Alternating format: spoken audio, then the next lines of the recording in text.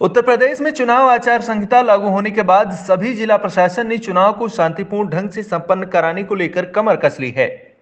वहीं शाहजहांपुर जिला प्रशासन ने भी तैयारियाँ तेज कर दी हैं। इसी क्रम में मंगलवार को पड़ोसी ज़िले लखीमपुर खीरी से दो कंपनियाँ सीमा सुरक्षा बल शाहजहांपुर पहुँची, जहाँ जिला पुलिस के साथ मिलकर नगर क्षेत्र के संवेदनशील इलाकों में पैदल मार्च किया।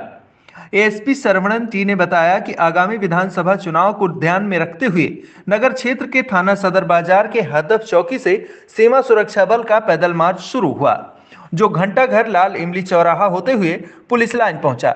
बता दें कि सीमा सुरक्षा बल की तरफ़ से अब प्रतिदिन ज़िले के अलग अलग क्षेत्रों में पैदल मार्च किया जाएगा। साथ ही ज़िले में कोरोना संक्रमण की रोकथाम को लेकर लोगों को जागरूक भी किया जाएगा। आज दिनांक 11 जनवरी को लखीमपुर कीड़ी से दो कंपनी अभी जनपद शाहजहानपुर में पहुँच गई।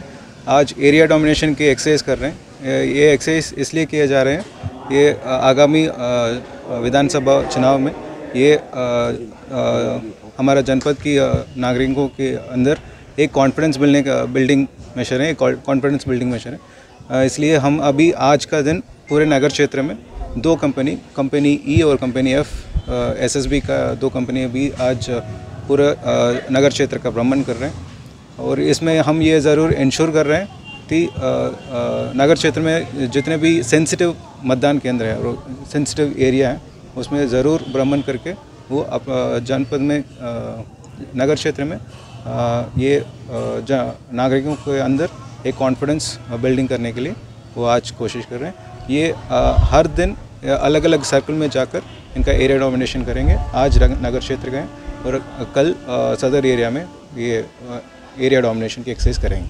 मार्क्स को लेकर किस तरीके से ये एरिया डोमिनेशन करते समय ये सिविल पुलिस भी आ, साथ में शामिल रहेंगे।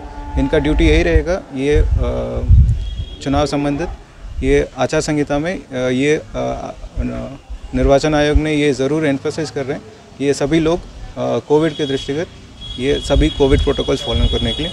इसमें सिविल पुलिस का रोल यही है तो जब भी हम पैदल गश्त करते समय, ये हम ज़रूर इंश्योर कर रहे हैं ये सभी लोग मास्क पहन के घूमेंगे।